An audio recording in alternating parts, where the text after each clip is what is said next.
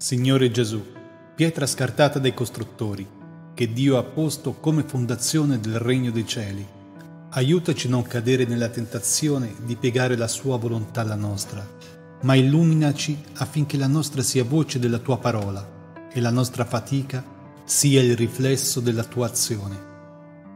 Fai che i nostri gesti rituali e il nostro impegno non siano motivati dal desiderio di affermazione e di ostentazione, ma siano generati dalla meditazione della tua parola, dalla contemplazione della tua volontà e dall'umile disponibilità a mettersi a servizio dell'architetto del mondo, come una matita nella sua mano.